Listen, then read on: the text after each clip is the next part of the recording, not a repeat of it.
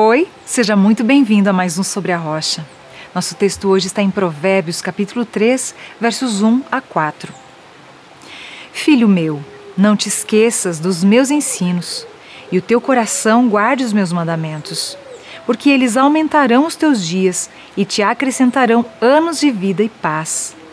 Não te desamparem a benignidade e a fidelidade, atas ao pescoço, escreve-as na tábua do teu coração e acharás graça e boa compreensão diante de Deus e dos homens.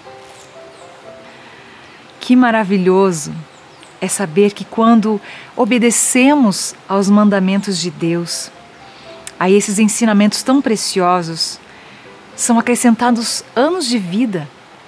Nós temos graça, paz, nós temos segurança nesse Deus. Vale a pena lembrarmos todos os dias dessa preciosa promessa. Oremos? Ó Deus Santo, misericordioso, o Senhor é tão abundante, tão eterno, e na tua palavra nos diz que precisamos obedecer a tua palavra, precisamos obedecer a tua lei, aos dez mandamentos.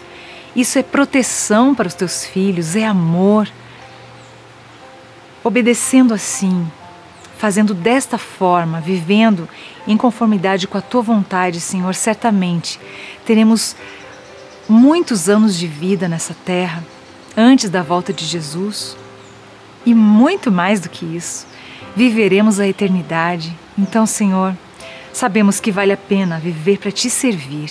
Reconhecemos isso neste dia e decidimos obedecer. Oramos em nome de Jesus. Amém.